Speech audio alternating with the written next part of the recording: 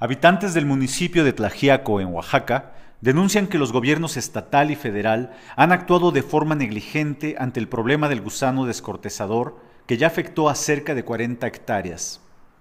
Aquí tenemos un problema que es eh, una plaga que está afectando a la especie del pinocote y prácticamente está arrasando los bosques. Eh, dicen ellos, el, bueno, los técnicos dicen que es el gusano descortezador, nosotros, para nosotros es un insecto especie de gorgojo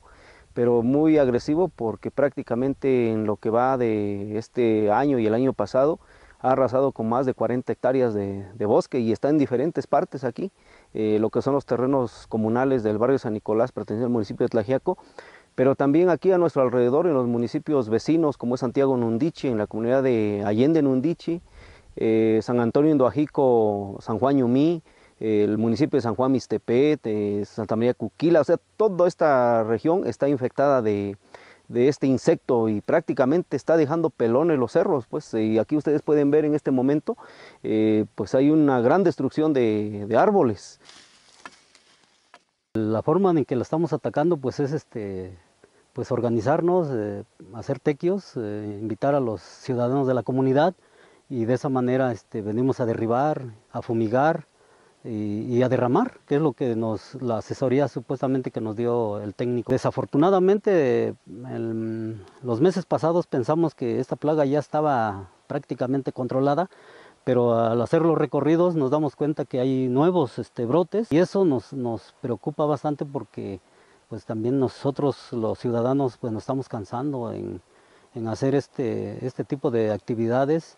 y vemos que nos está rebasando este, esta plaga. Es indignante la respuesta nula que, te dan, que siempre que no, que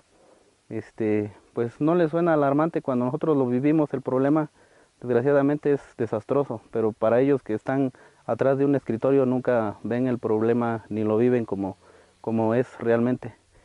Este, pues mucha burocracia en las dependencias. Pues, desafortunadamente el insecto no entiende de burocracias, ni, ni entiende de, tiempos, el insecto arrasa. De parte de las eh, dependencias del gobierno federal y estatal, como es este, la CONAFOR, la Comisión Nacional Forestal, la Secretaría del Medio, Medio Ambiente y Recursos Naturales, no hemos tenido la respuesta, ha sido muy burocrático algunos trámites que hemos hecho para sacar el permiso de, para sanear, eh, es muy tardado, o sea, tardan de dos meses a tres meses para autorizar un permiso. Entonces, nosotros, para nosotros es desesperante. En, el caso del gobierno estatal, a través de la Comisión Forestal Estatal, no ha habido una sola respuesta respecto a este problema que está quejando en esta región de la Mixteca. Y para nosotros, pues prácticamente está en riesgo el equilibrio ecológico, el futuro de la naturaleza y sobre todo el abastecimiento de agua en, nuestros, en nuestras comunidades.